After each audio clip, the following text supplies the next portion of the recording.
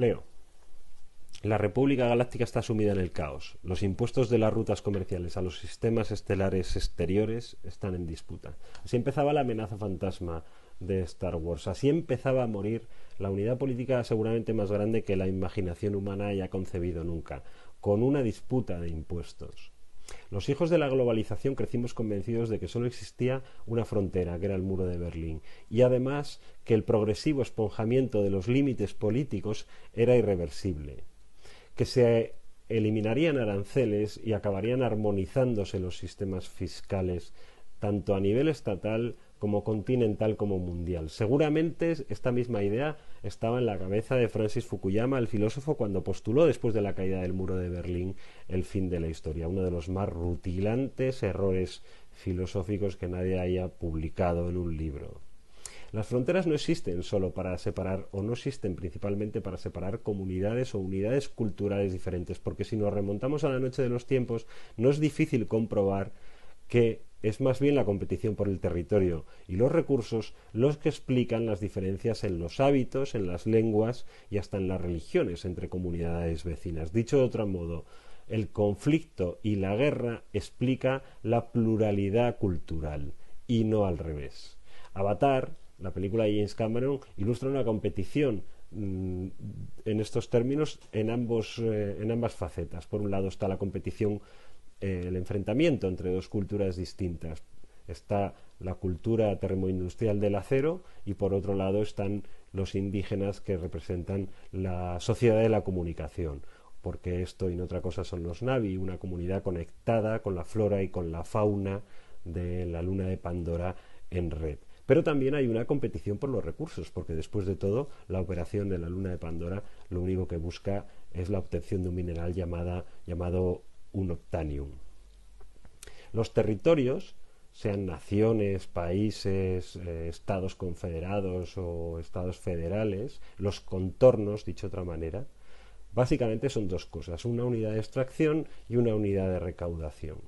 Eh, Toda la historia de los imperios, desde Roma hasta Estados Unidos, pasando por las potencias coloniales europeas, básicamente son una competición por territorios en pos de recursos. Y a la vez todas ellas tenían más o menos eh, fronteras interiores que servían para consolidar ventanillas de recaudación. Una frontera siempre es un potencial negocio. Y esto explica la prosperidad, la decadencia en distintos momentos históricos de localidades como Port Bow o Miranda de Ebro, o por otra parte la existencia de algo tan insólito como eso que Michael Portillo llamó un Titanic entre montañas, que es la estación de Canfranc. Zapatero retiró las tropas, las tropas de Irak e inmediatamente Estados Unidos en muy pocos meses descubrió una supuesta plaga que le llevó a dificultar, a obstaculizar la comercialización de frutas españolas en Estados Unidos.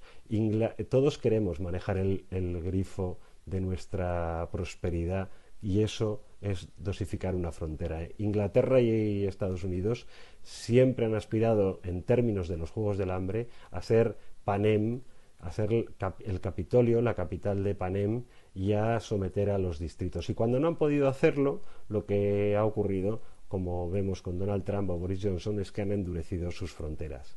Madrid postula una fluidez del tráfico de sus fronteras para la llegada y salida de turistas y a la vez una rigidez de esas mismas fronteras en términos fiscales, porque Madrid también aspira a ser el Capitolio de Panem.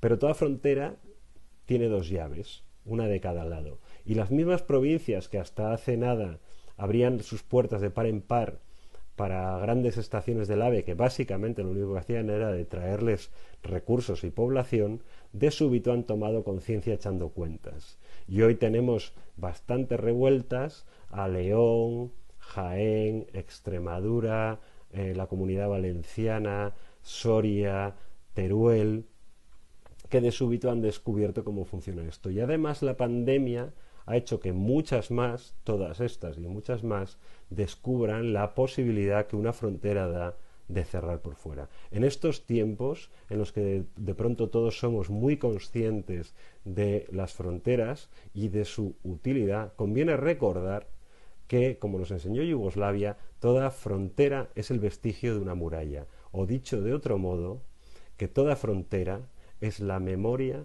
o el anuncio de una trinchera.